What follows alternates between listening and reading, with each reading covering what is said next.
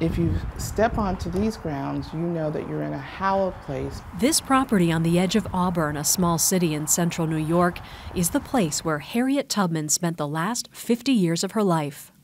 Beyond the barn was her vegetable garden, which is. Karen Hill is president and CEO of the nonprofit organization that has preserved the property and fought for it to become one of America's national parks. Her legacy is embodied in her core values and how we lift them up freedom, faith, family, community, justice, self determination.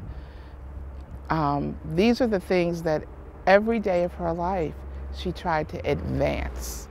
Tubman secured her place in history as one of the conductors on the Underground Railroad, a network of paths and safe houses that brought thousands of slaves from the South to freedom in the North before the Civil War. Tubman risked her life again and again by returning to the South to rescue her siblings, her elderly parents, and other slaves. She's credited with personally leading some 70 slaves to freedom. Tubman was born into slavery on a Maryland plantation, but around age 27, she ran away and escaped to a free state, Pennsylvania, where she started a new life in Philadelphia. During the Civil War, she served as a nurse and a spy for the North and became the first woman to lead an armed raid, which rescued some 700 slaves in South Carolina. After the war, she settled in Auburn, a free, land owning black woman. The area was progressive, central to both the abolitionist and suffrage movements. This is the crown jewel of the Underground Railroad movement. This is the touchstone. This is where Harriet came after completing her campaigns. This brick house was Tubman's base when she wasn't traveling around the country, giving speeches, fighting for the women's right to vote, and raising money to support freed slaves. She eked out a living on proceeds from a book, a small pension, her farm, and a brick-making business. The property was home not just to her extended family, but to the less fortunate who needed a place to stay. Tubman even built an infirmary. Where she provided free health care to everybody, not just to African Americans, but to anybody who needed it. So this is the remaining home for the aged. Tubman started a home for the elderly funded by donations. This is the only one of the original nine cottages that remains. In town, there was a home for the aged, but it was segregated. It was for whites only.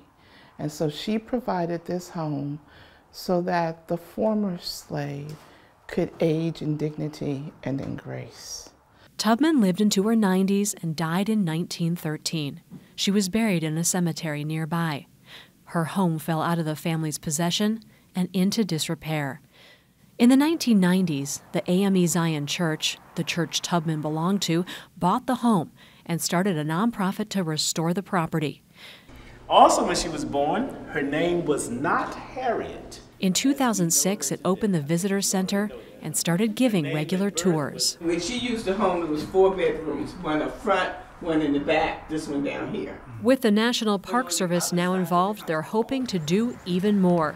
Frank Barrows supervises the new Harriet Tubman National Historical Park. Bringing a national park to a community um, does a few things. Uh, it certainly raises the visibility of the site. National parks are also an economic driver um, because of the tourism dollars that are spent. For every dollar spent in federal funds on national parks, $10 is put back into local economies. The park is opened at a time of renewed interest in Tubman's life. Two feature films about her are in the works. And in 2020, the Treasury Department is due to unveil a design for a new $20 bill with Tubman on the front. There's also a second national park dedicated to the Underground Railroad chapter of her life, opening this month in Maryland. National parks are a great source of community identity and pride. Um, it means something to say that I'm from the town where Harriet Tubman lived. Um, I'm from the town where Harriet Tubman uh, continued her legacy and where she's buried. This is uh, my great grandfather. This is Harriet's nephew, William. Judith Bryant is the great great grandniece of Harriet Tubman, the great great granddaughter of a brother Tubman rescued in 1854. I wouldn't be here if she hadn't done what she did. Okay. She lives in a nearby house built by Tubman's nephew in 1901. Bryant says Tubman's extended family in Auburn was very close knit. These are all family members that was her motivating factor. And so she rescued her family first. Bryant's mother knew the elderly Tubman when she was a child. But my mother said Harriet would come and sit in the corner by the door, and um, she would appear to doze off until somebody said something that was either maybe a little off color, and she would She'd perk up? And, yes, perk up, open her eyes, and make it understood that she didn't quite approve of it. Oh. Bryant and her family donated Tubman's bed to the park and a family sewing machine. Bryant also has a collection of Tubman memorabilia. So anyway, this is actually a 1911 bill. For a hospital stay at the end of Tubman's life. This is a pamphlet. A pamphlet featuring Tubman and other local dignitaries. Now, this is a picture that is not often seen.